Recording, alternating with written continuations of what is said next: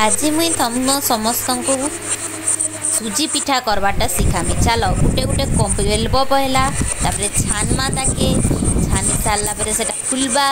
ଫୁଲି ସାରିଲା ପରେ ଆମେ ତାକେ କାଢ଼ିଦେମା ତାପରେ ଆମେ ଘୁଗୁନି ତରକାରୀ କର୍ମା